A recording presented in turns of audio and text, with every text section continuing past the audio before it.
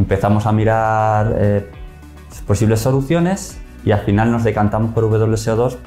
varios motivos, El, el, hecho de que nos da todo lo que necesitamos y el hecho, como agencia europea, también de que sea compatible con el EUDPR, que es una regulación de protección de datos, que es un poquito más restrictiva que el GDPR, más enfocado también para las agencias europeas.